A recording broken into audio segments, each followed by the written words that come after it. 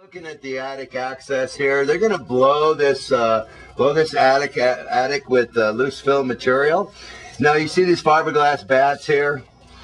What this is, they put these fiberglass batts up here because when they blow the insulation up on the other side of it, blow the whole attic, this fiberglass batt will keep the loose fill material from falling down when you open up the attic access, which is a good thing to do.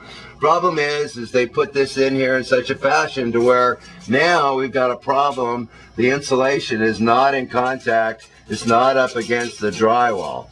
And up over here, there's a fiberglass batt you see it's up above here and it's it's coming out over two feet over this direction. And we have this top plate over here where there's no insulation whatsoever.